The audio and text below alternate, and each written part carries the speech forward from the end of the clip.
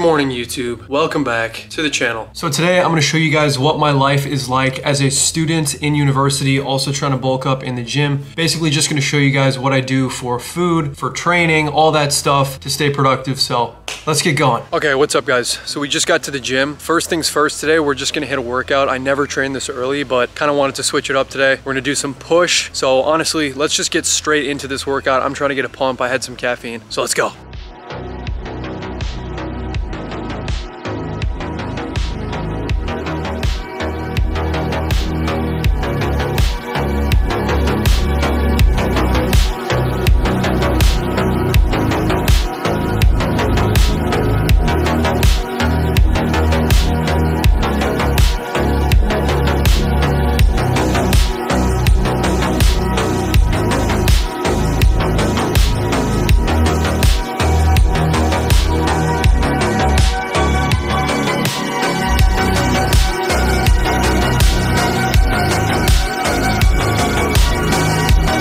Yo, what's up guys?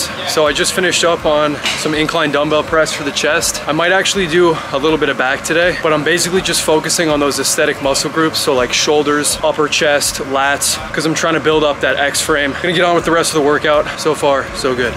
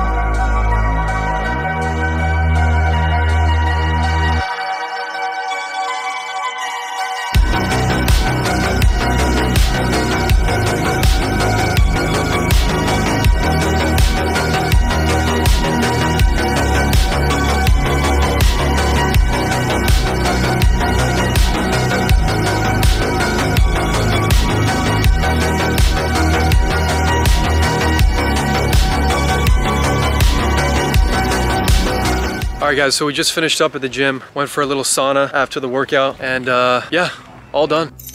And we are back from the gym. I'm hungry, so let's make some food. Hello. Hello.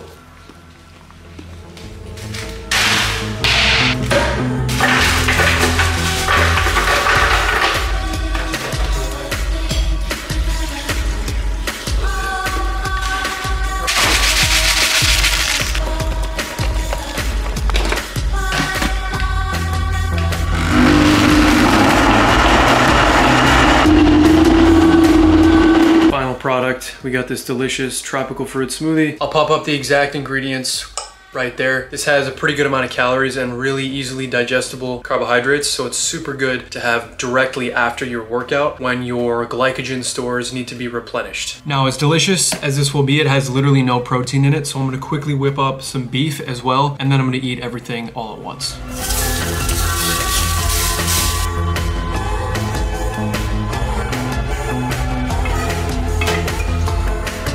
Now I got the protein, which already looks delicious as it is, but I've got some secret condiments that I'm gonna put on it to make it taste even better.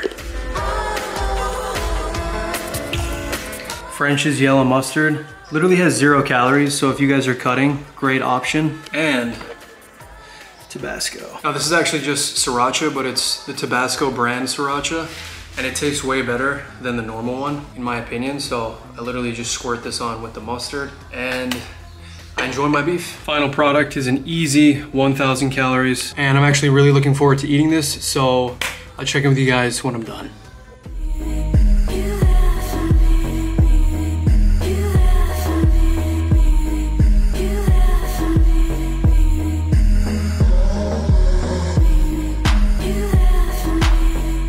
Hey, what's up guys? It's been a couple hours since I finished my food. Uh, I basically just chilled out after the gym, digested that meal. I wanted to take a little bit to relax. Now I'm back in action. So I'm on a quick little walk right now just to kind of clear my head, keep my energy levels up because I was starting to kind of plateau and feel sluggish and I hate when that happens. Now it was kind of raining earlier. Suddenly the weather has become super nice. The sun came out again. It's like 8 p.m. now. I'm debating going down to the sea and going for a dip in the water. It's pretty cold, but figure I might as well. I am gonna get one more quick meal in though before I do any of that, just because the bulk takes priority. Gonna head back now, make some more food, and let's go.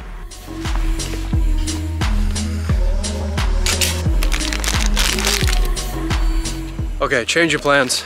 I did lie. I know I said the meal takes priority. I did get some food. But these do have 500 calories in one bag. But yeah, we're just gonna go for a swim now.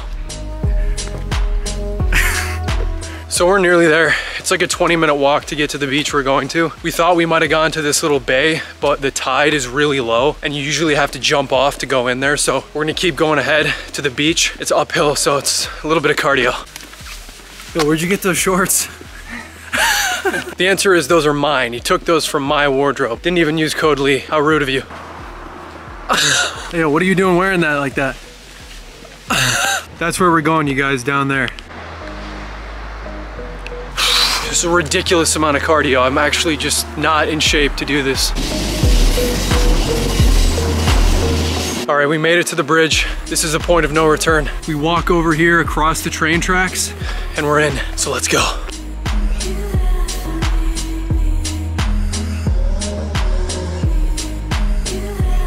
I almost broke my ankle for that bit, but we got it. Ooh, that's a long way down.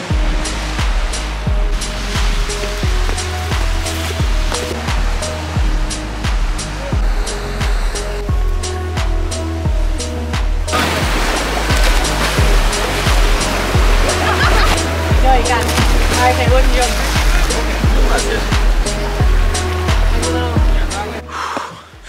I look like a founding father right now, but we completed the swim. It actually wasn't even that cold today, so I'd consider that a success. Gonna have to walk home in the towel and the sandals. So we have returned and yeah, made it home in one piece. Current time is 10.26 p.m. So I'm gonna make another meal and uh, keep the calories rolling. These bad boys slap. Hmm.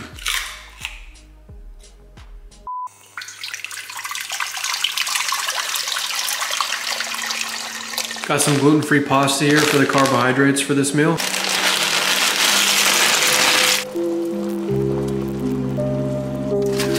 Also gonna whip up some more beef with that.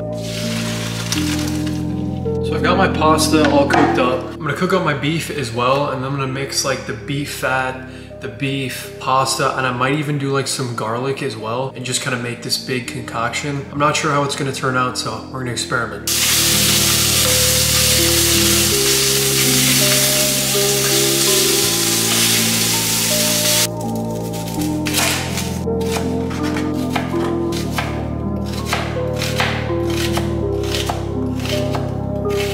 Okay, so update. I've got the main component of this meal, which is pasta and beef ready to go.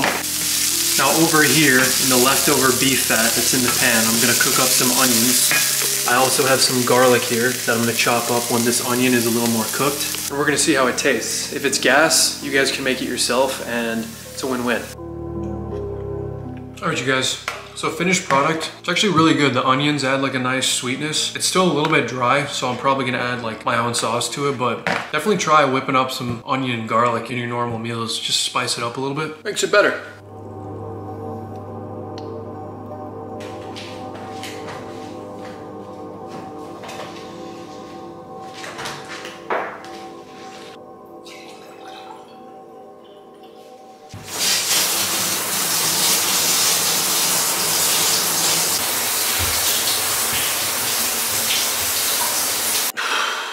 Okay all clean. Recently, I've been going to the gym like five, six times a week. I've really been pushing the intensity and that can kind of diminish your recovery if you're consistently doing that. So with that being said, the bed right there has been my best friend. Something that's definitely overlooked by I think a lot of people who work out is that going to the gym and training super intensely, it doesn't just kind of impede your recovery temporarily, but it can actually kind of impede your immunity and just your overall body will be taxed and it'll be just kind of weaker when you're existing in that recovery period. So if you're working out and you're training hard, you owe it to yourself to get good quality sleep. I mean, I remember back when I was like a freshman in college, I used to deadlift and I would go until absolute brutal failure on like drop sets of heavy deadlifts.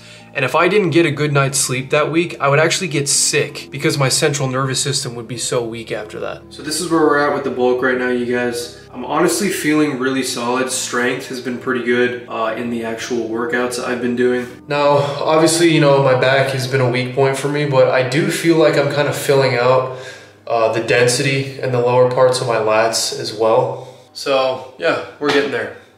Anyways, guys, that is gonna be the end of the video. If you guys enjoyed, please make sure to drop a like, helps out the channel a ton. And yeah, I'll catch you guys in the next video. Peace out.